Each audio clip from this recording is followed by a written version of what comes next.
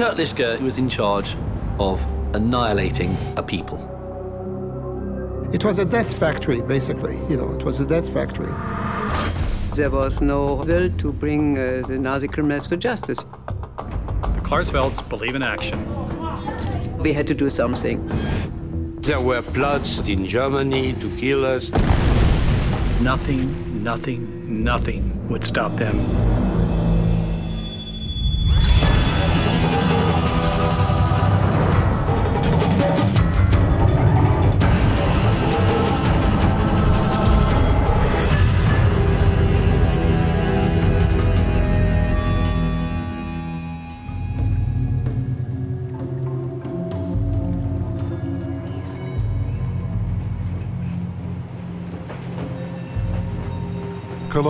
West Germany. Political activists Serge and Beate Klarsfeld stake out an apartment building in a quiet neighborhood. It is home to Nazi war criminal Kurt Lischka.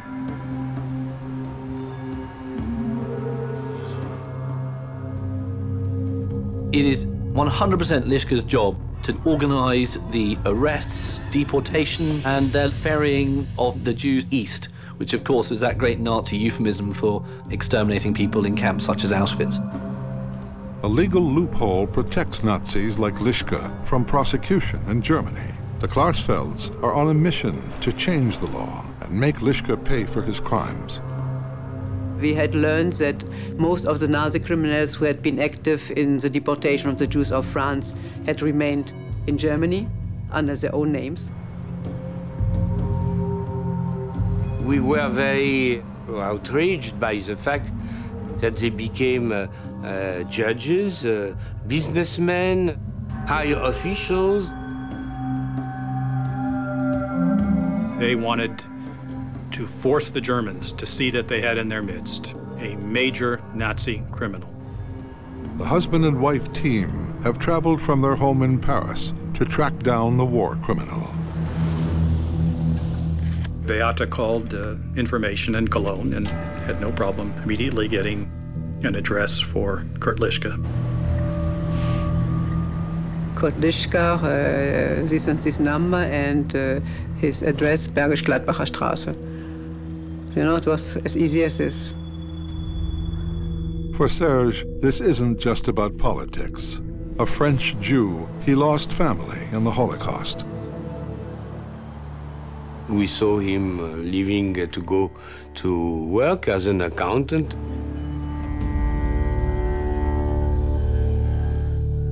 He was a businessman. But 30 years ago, Lischka had a very different job. As Gestapo chief in Paris, he orchestrated the murder of 33,000 Jews. He sent out to Paris, where he heads up the the Jewish Affairs Department, and that doesn't mean looking after Jews. That means effectively killing them.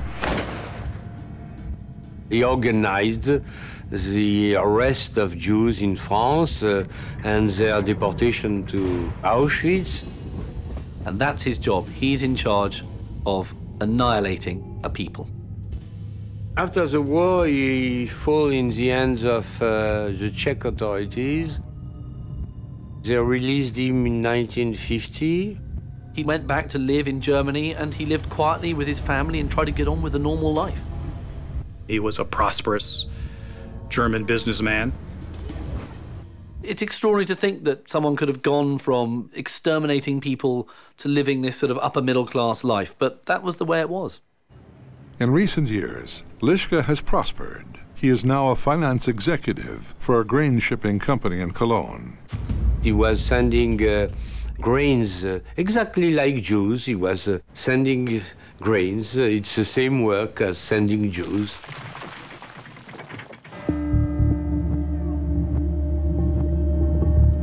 The next morning, the Klarsfelds are back on Lischka Street. This time they've hired a cameraman to try to capture the Nazi on film. The Klarsfelds found out where he would walk on his way to the streetcar. He had to take the streetcar to get to work in Cologne. Lischka is not scuttling under rocks. Lischka is living very openly. und sind äh, an einer Ecke ein bisschen andere Kante gegangen. And suddenly, we saw a tall man. He was wearing a black coat, carrying a briefcase, and was smoking a cigarette. Serge said, Yes, that's him. Zigarette rauchend. Und Klarsfeld sagte, ja, das ist er. It is the start of a dramatic cat and mouse chase that will last almost nine years.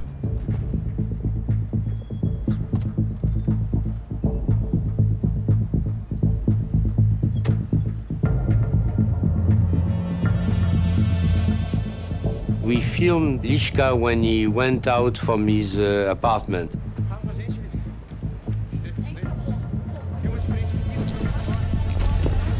I started shooting him from one angle to keep him in the frame as long as possible.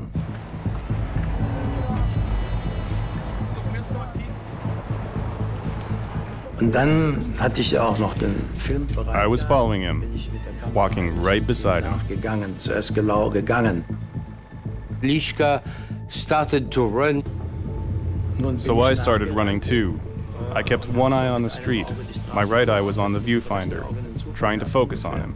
Und habe so praktisch gezielt und We didn't want to do something against him, but he believes that perhaps we will.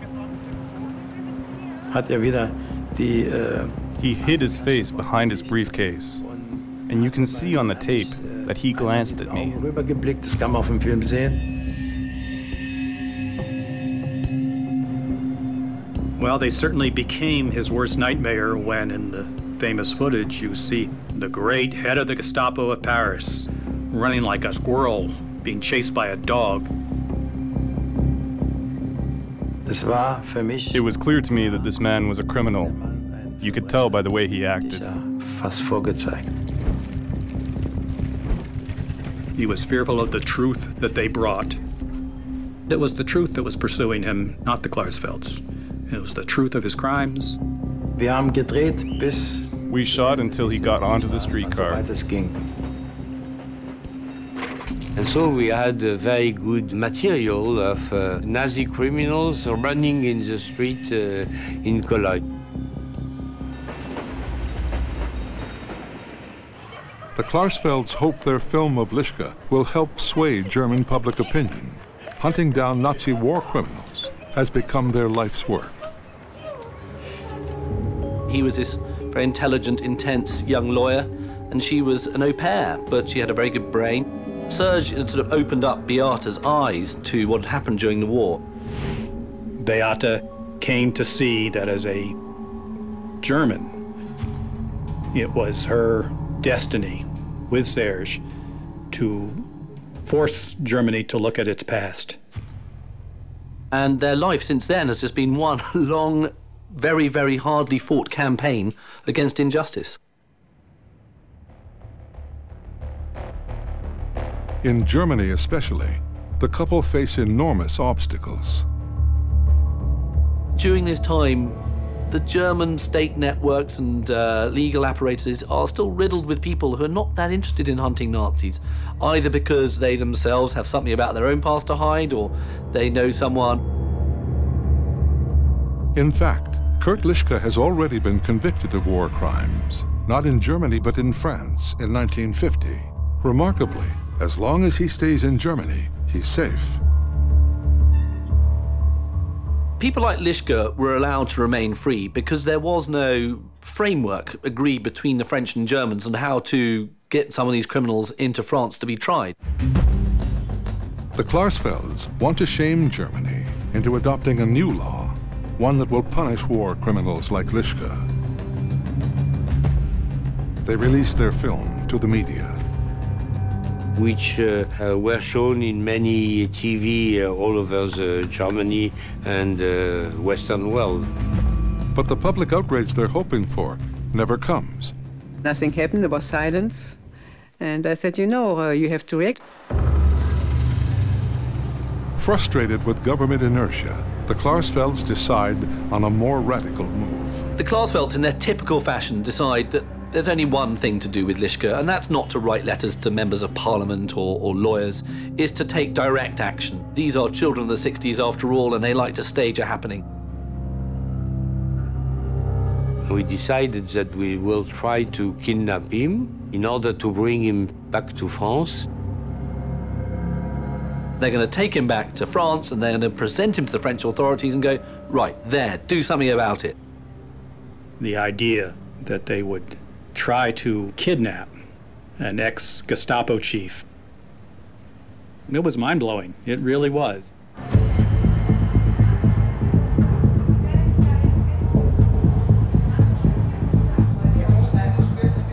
But to carry out their audacious plan, they need help.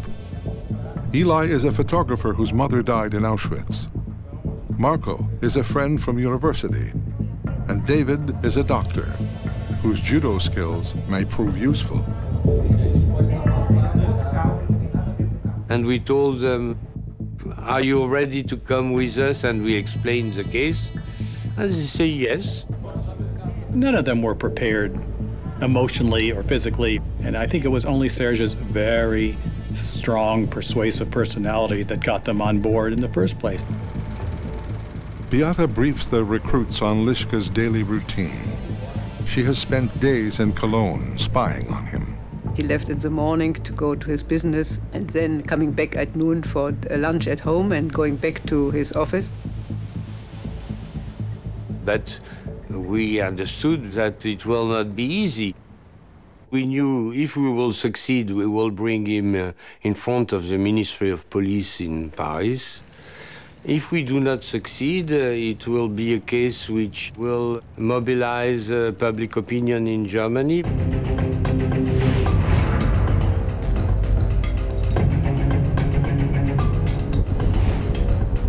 The team travels to Cologne. They rehearse the abduction and finalize last-minute details. But the plan hits a snag when the rental car they've booked isn't available. They want to rent a car. They've been promised they'll get a certain type which has four doors. And when they arrive, the car has only got two doors. A two-door car is the worst type of car you can imagine trying to bundle someone into. Especially someone very tall like Lischka. You can't just shove him in. It's the first sign of trouble.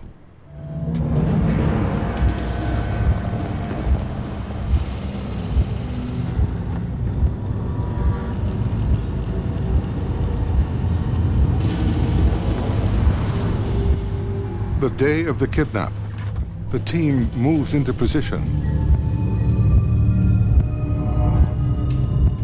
Yeah, I was, you know, a volunteer in the Israeli army in 67, uh, so uh, I was not afraid by uh, the action. The idea was once they had stuffed Lischka into the trunk, they would drive out to the outskirts of Cologne and transfer him to another rented car so that they couldn't be spotted or identified along the way back to France.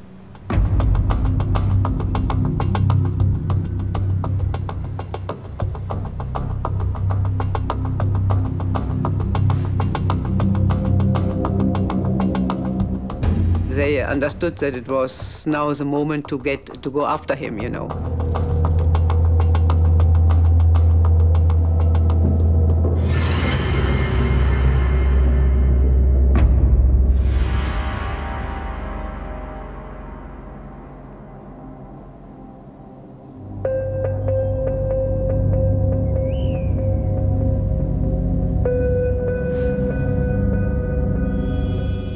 They had the plan.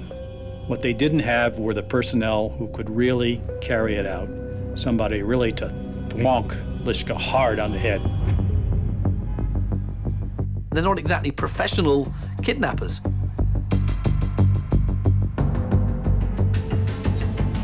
At the critical moment, Eli loses his nerve and freezes.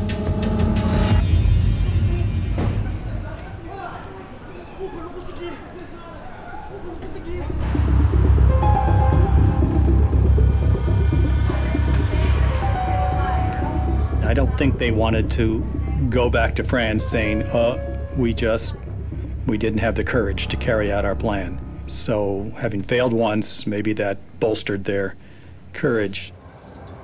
In a nearby cafe, Serge rallies his troops. he reminds them why they're here. Kurt Lischka and hundreds of Nazis like him must face justice. The situation was the same situation for all the Nazi criminals who uh, acted in France, and uh, we wanted to change uh, that uh, situation. For Serge, in the back of his mind were the, the screams and the moans of children who first were subjected to terrible arrest,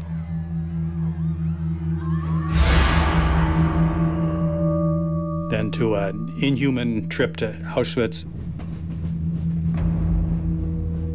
and finally to the gas chamber.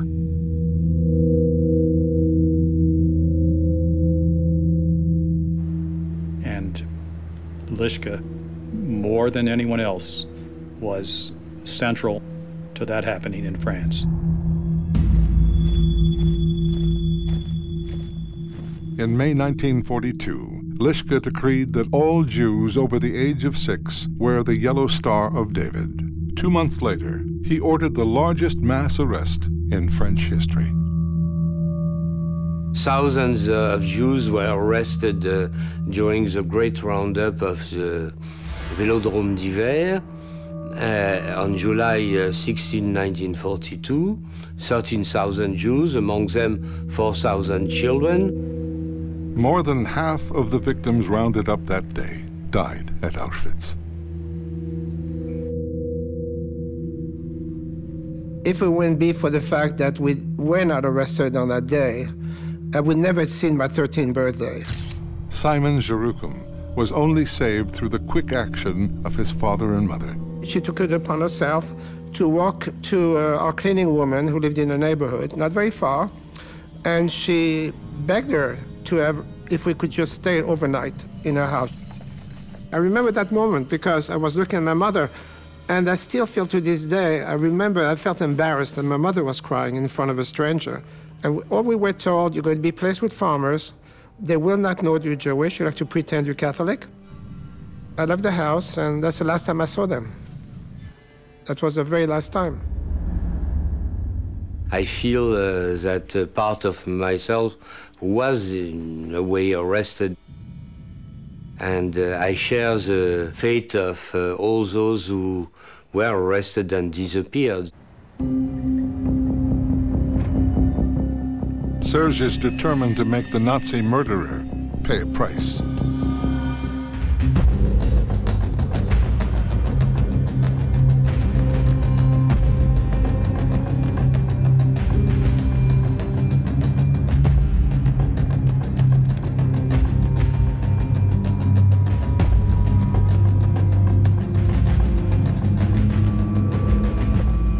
12:45 p.m., he leads a second kidnap attempt. So they go up to Lischka, and uh, in the street, this very tall guy. We uh, came close to him. One took uh, one hand, uh, one arm, another one took a second arm. And he's shocked. I mean, as you would be if just some random bloke came and jumped out at you. And he was very heavy, and it was very difficult to push him. And he started to, to shout, Hilfe, Hilfe, uh, help, help.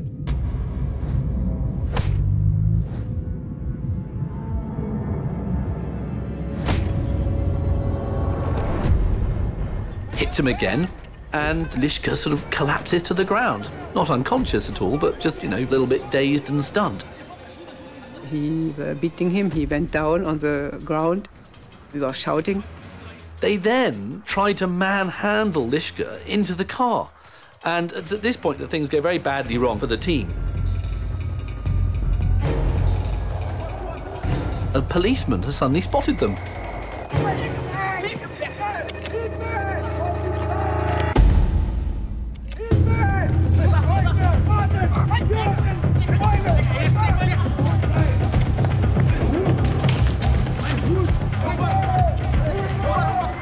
We ran to the car in order to escape the policeman.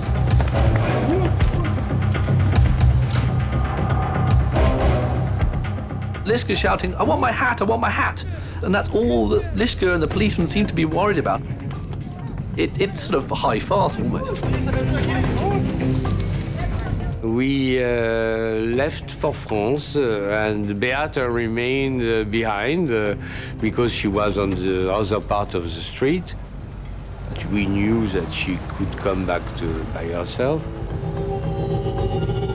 I don't think they really thought they were going to cross the border into France with Lischka in the trunk of the car. But they knew they were going to cause embarrassment to the authorities. The Klarsfelds don't have their man but they hope the bungled abduction will hit the headlines. To their disappointment, the following day, there is barely a mention.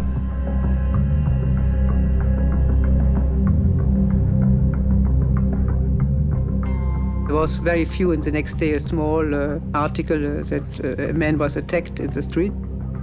So we called the newspapers. Beata called, uh, like she, if she was a neighbor of Lischka. How is it possible that uh, nothing is uh, written uh, while uh, this poor Mr. Lischka was uh, put on the ground and uh, attacked by foreigners? I said, you know, these were French Jews who came to, to kidnap the former police, the chief of the Gestapo in France. The next day, the, it was full of uh, news because the police was obliged to say that yes, there was an attempt of kidnapping. Beata decides to go one step further. She returns to Cologne and claims responsibility for the crime. So the police came and she presented herself as one of the kidnappers. So immediately Beata say, I organized that uh, attempt of kidnapping because Germany doesn't want to ratify the treaty between France and Germany, and Kurt Lischka was our first attempt. The police didn't want to arrest her. They understood something was happening here, which was in effect a manipulation of the police. If Germany won't put a mass murderer behind bars, then Beata will sacrifice her own freedom.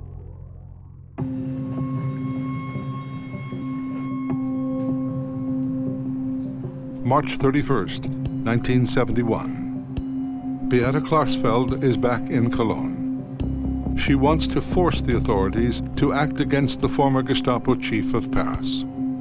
It's one thing just to say he was head of this department in Paris during the war, but you've also got to have a paper trail and you've got to show quite what this man has done and you've got to show bits of paper with his name and initials on and so on. Part of the uh, documents concerning the Jews uh, had remained here in France when the German retired. We had a very solid and heavy file against Lischka. As they read the documentation of the deportation period, his name was just all over every telex to Eichmann and Berlin. He was what they called the desk murderer. My parents, they were actually trying to go to the non-occupied, what they call the free zone, and they were arrested on the border. And um, they were sent immediately to Auschwitz. So they were actually gassed in September. I mean, just a month and a half after we were separated. Thinking of them being so young, they were in their early 40s, you know, I didn't want to think about the suffering. This is too much for me to imagine.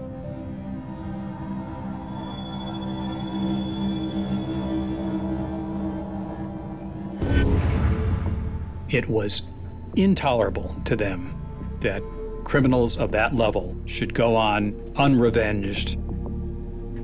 Justice had to be meted out to Lischka. In the company of Holocaust survivors, Beata delivers their dossier on Lischka to the prosecutor in Cologne. We met the prosecutor of the Lischka case and uh, delivered him the documents. And I said, you know, here I am. Uh, I say to you, we wanted to kidnap uh, Lischka. We could not succeed, but uh, I bring in anyway his, uh, the file about him. Beata deliberately presents the prosecutor with a dilemma. If he will arrest Beate, that will make a mobilization among the victims. And if he will not arrest Beate, it will show that the German justice is unable to arrest people who act illegally, like the Nazi criminals. The best situation for the Klarsfelds was that Lischka would continue to go about his normal life, and Beate would be thrown in jail. Now, the authorities do act. They don't arrest Lischka. They arrest Beata Klarsfeld.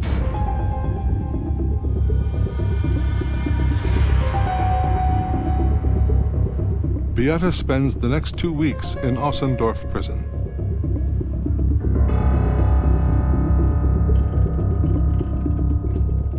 And every moment of that time was well worth it to the Klarsfelds because it embarrassed the official powers.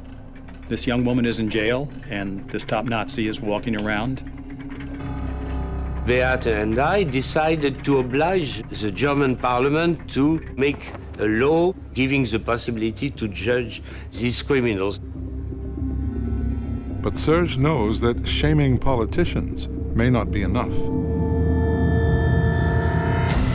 There were powerful men, of course, uh, against uh, such a law uh, giving the possibility to judge Nazi criminals in Germany.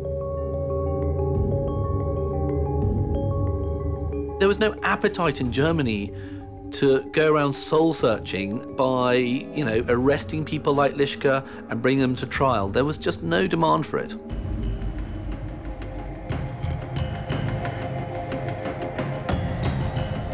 The injustice of Beate's incarceration becomes a cause célèbre.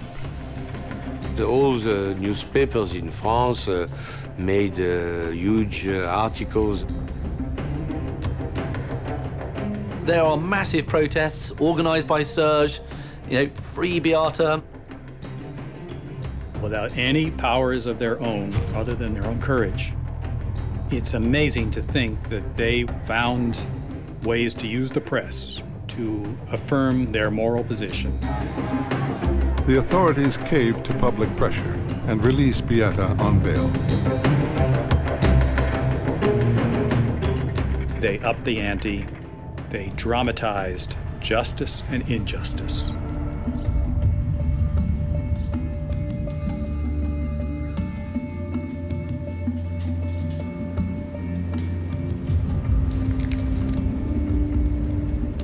But for the Klarsfelds, the harder they fight to bring Nazis to justice, the more danger they face from those determined to stop them.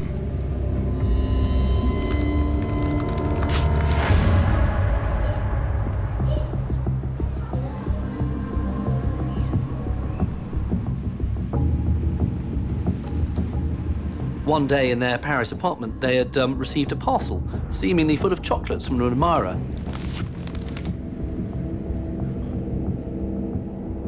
It was sent uh, by somebody called uh, Sigal, uh, uh, a, a Jewish name, but the initial of the first name and uh, the name were SS. Serge was very suspicious. So Serge opened carefully the, the paper, and inside was a box of candy. And uh, in the paper were uh, some uh, uh, black grains. Luckily, the Beate and the children were away. A box of candy, which in fact was a bomb, had been sent to them.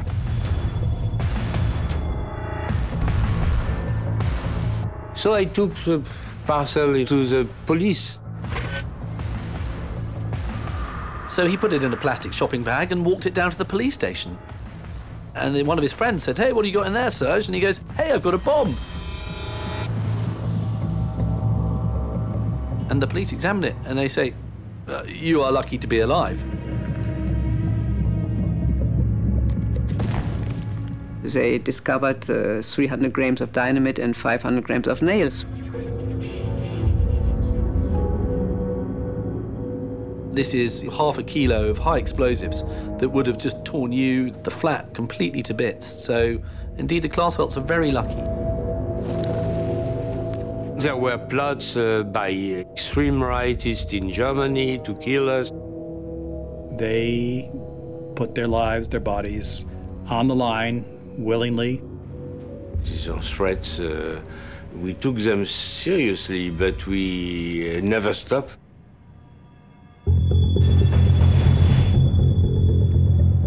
May 1973. Beata ups the ante again. Seven months pregnant and flanked by Auschwitz survivors, she marches into Lischka's office to stage a protest. She was never frightened. She was never, ever frightened.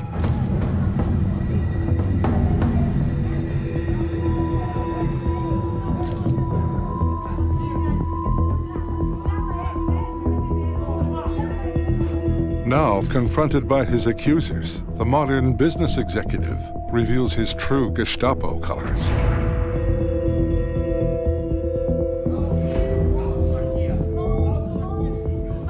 He took a gun to put one of the demonstrators uh, against the wall. Did he hate the Klarsfelds? He certainly was fearful of them.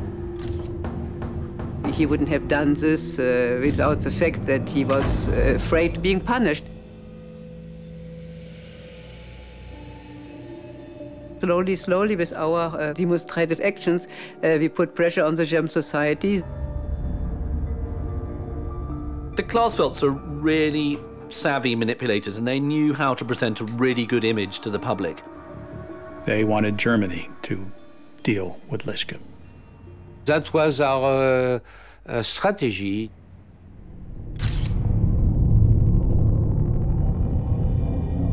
Serge himself was a child of the Holocaust. I believe he was eight years old when his father was taken away. It was September 1943. The Gestapo burst into Serge's home. He, along with his sister and mother, hid in a secret compartment inside their closet. And they started to look for us, and one German opened the door of the closet, and uh, he put all the side, all the clothes uh, like that, but he didn't touch the, the, the wood.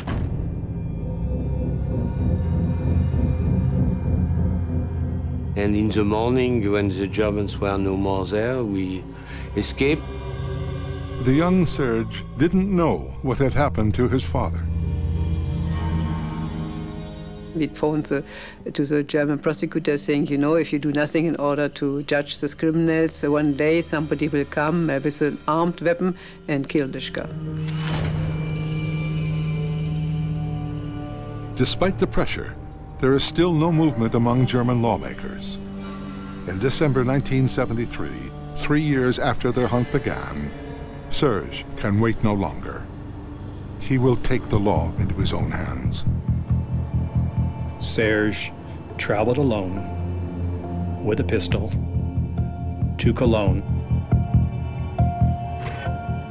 I knew that the, the threat of killing Nazi criminals will not be believed until we would show it effectively. If he couldn't get justice through the court system, he would finally have to administer justice himself. I waited uh, Lischka to go out from his office, to go to his car. Uh, when he arrived uh, to his car, I, uh, by surprise, uh, arrived with a gun. Serge took that pistol and shoved it in his face. He was shouting and uh, afraid. Lischka! I uh, put the gun on his uh, head. Lischka's eyes bulged out. He immediately believed that he will be killed. Just like his victims 30 years earlier, Kurt Lischka is forced to stare death in the face. One of those victims was Serge's father, Arno Klarsfeld.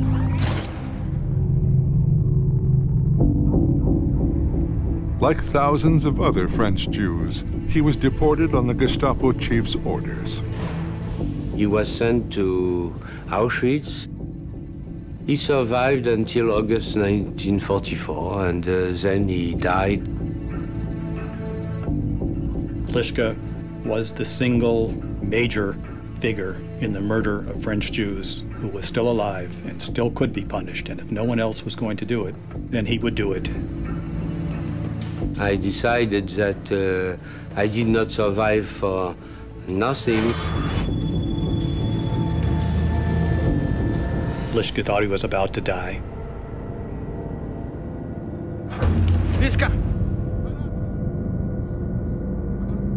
I decided not to kill because uh, uh, that would be an act of despair. I didn't shoot. I smiled, uh, I laughed, and I left uh, running.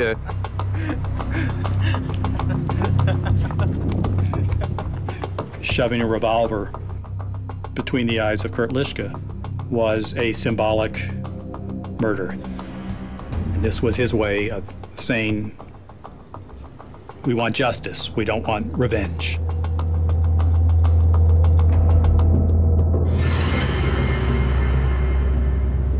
Serge went back to Paris, and again, then we phoned the, to the German prosecutors. I told them, you see, if we want to kill these criminals, we can, even with a gun, even protected, uh, we, and it will happen if you do not do your duty. Eventually, after much toing and froing and a lot of pressure from the Klarsfelds, eventually the law is passed. We, we obtained finally the ratification. It was done in January 1975.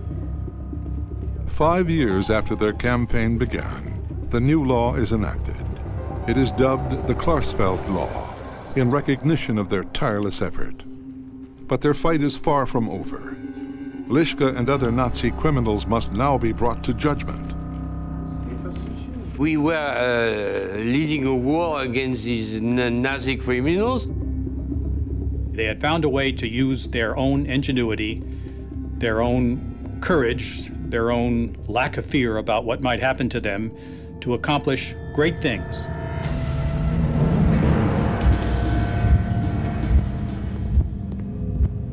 July 1978, two years after the Klarsfeld Law was passed, German police arrest Kurt Lischka for the murder of 33,000 French Jews.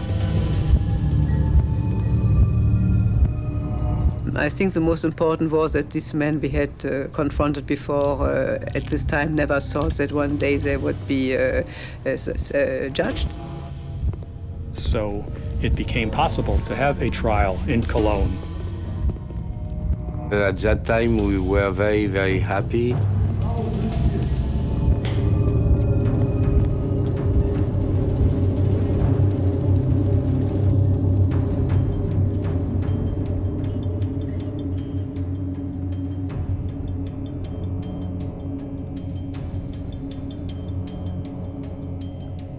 The forthcoming trial stirs up a real hornet's nest of neo Nazi activity against the Klarsfelds.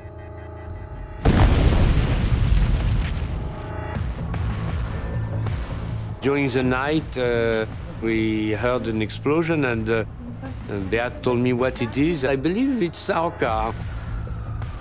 In uh, the garage at the bottom of the apartment block where the Klarsfelds live, the car is blown to pieces by a car bomb.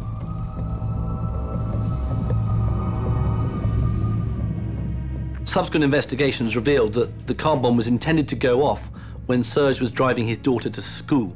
So this was actually an act of attempted murder. Says so much of the bravery of the Klarsfelds that that doesn't stop them.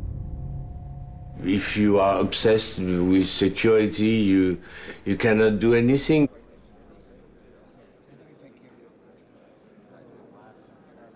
October 23rd, 1979. The Kurt Lischka trial opens.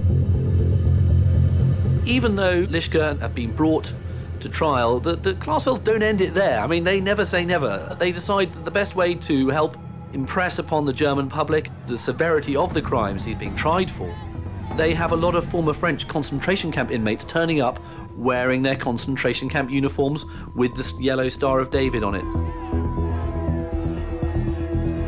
Also on trial for war crimes are Lischka's deputy, Ernst Heinrichsohn, and Herbert Hagen, a high-ranking SS leader in wartime France. They brought in the three defendants and put them in kind of a fenced-in area. And they looked like three businessmen. They had looks on their faces like, oh, why are you doing this to us? You know, what, what is this all about? We're not criminals. For the verdict, the Klarsfelds pull one last stunt. They charter a special train from France carrying 1,500 Jews. It was the trains and the cattle wagons that took the Jews eastwards from France through Germany and to, to the uh, extermination camps. This train was seen as a highly symbolic act of bringing a train of Jews, French Jews, into Germany for the trial.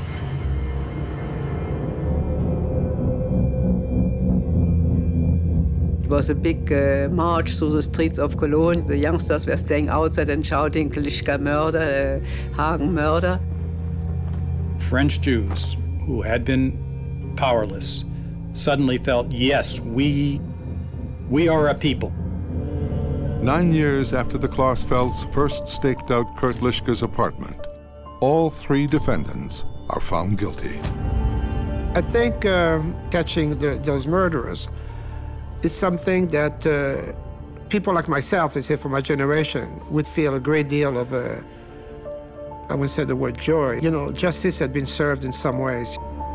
Nobody would ever have identified the principles of the final solution in France if it weren't for the Klarsfelds. And Lischka was sentenced to 10 years of jail.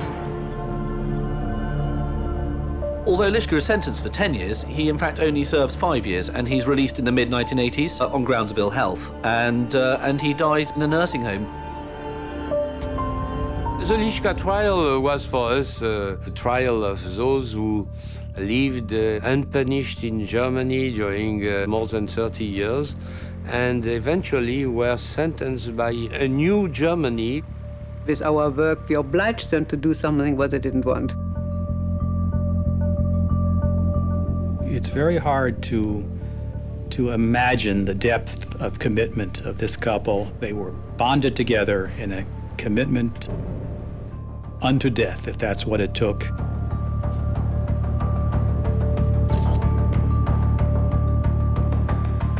The crimes uh, are never forgotten. The very end, these criminals can be uh, judged for the crimes they had committed.